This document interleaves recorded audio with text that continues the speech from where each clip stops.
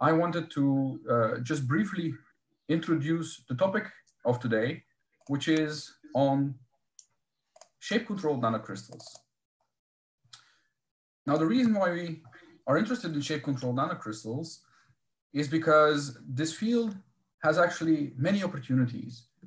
Control of shape, we control, can control optical properties, we can control catalytic properties, we can even control magnetic properties.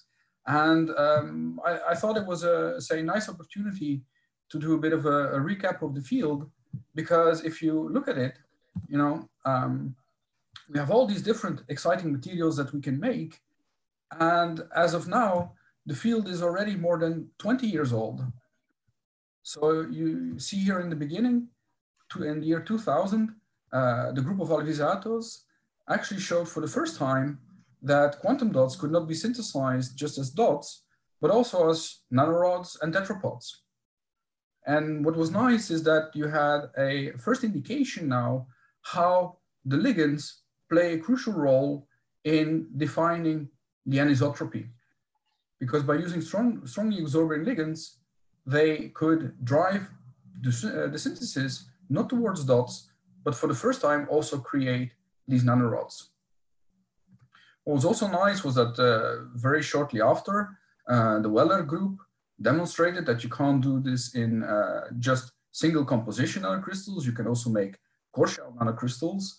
And for instance, you can impose anisotropic properties on a cadmium selenide core, which is essentially spherical, by growing an anisotropic cadmium sulfide rod. You can see here that, for instance, the fluorescence becomes strongly polarized.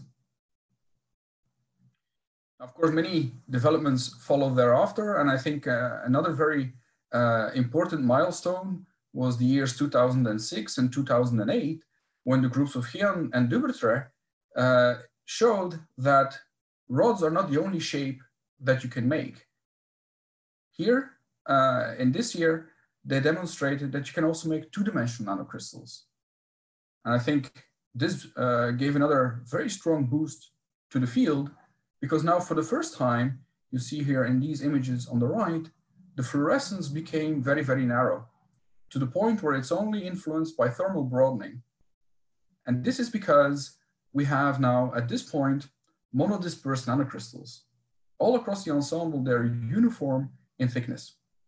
And the talk of uh, Andreas Riedinger today will show you a little bit more what we can do with these nanoparticles. So later on with these 2D nanoparticles, you can also make, just as you do for cat selenide rods, you can make core shell nanoparticles. And here what was very interesting is that in 2012, the groups of uh, Talapin and Dubertret more or less simultaneously showed that you can coat cat with a catsulfide shell. And here you find more or less what you expect. By coating it with a catsulfide shell, you create a so-called quasi-type 2 structure, which leads to a strong redshift of the absorption and of course also the fluorescence properties. But then one year after, the group of Artemyev demonstrated that you can also exclusively grow a second material around the edges of the nanoplatelet. And in this case, you don't grow it in the direction of strong quantum confinement, but you only grow it around the edges where uh, only weak confinement uh, applies. And in contrast with the redshift that you observe here, you see that in this case, you don't have any redshift and you maintain even a very fast fluorescence lifetime. So what's intriguing about this situation is now that as of these years, you can now for the first time also start to control here the quantum confinement properties by growing anisotropic structures either concentrically or only laterally. Just to mention also, the growth of these nanoparticles was, say, uh, a bit of a mystery until recently, but then the group of Norris showed that these nanocrystals actually maintain their very nice 2D monodispersed thickness by growing them under so-called kinetic conditions. This means that the edges grow much faster than the thickness, which leads indeed to this uh, situation where you have a uniform thickness of one to two nanometer platelets, which are then extended laterally in size.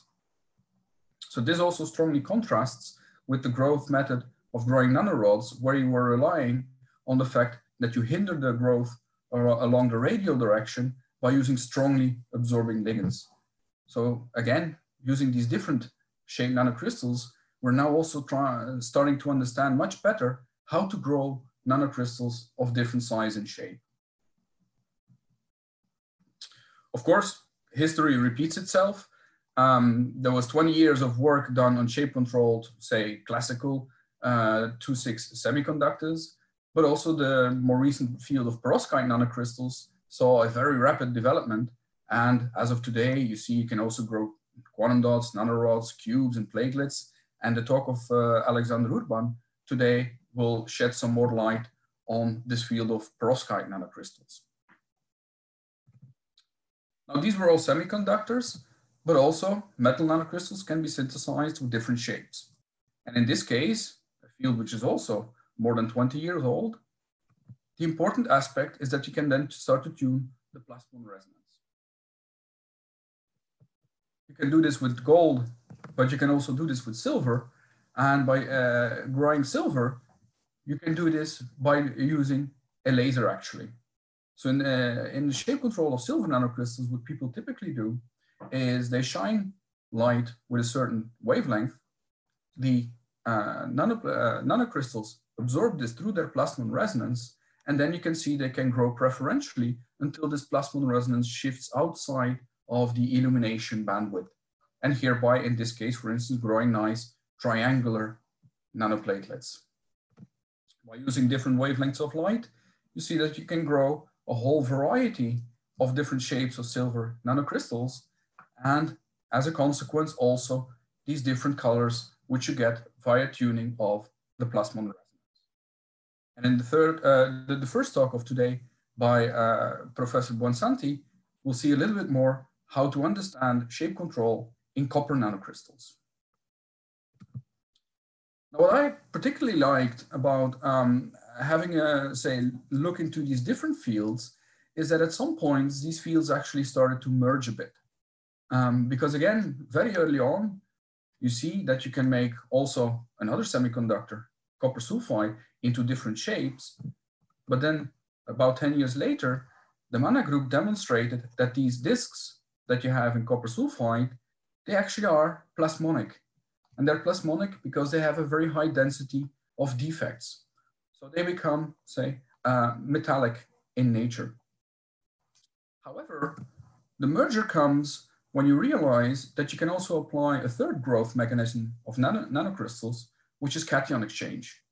You can actually take these plasmonic nanocrystals, in this case, this is uh, the example of copper telluride, and then replace all the copper by cadmium in a cation exchange reaction. And as you can see, the result is that you get semiconductor anisotropic nanocrystals, with in this case, bright red fluorescence.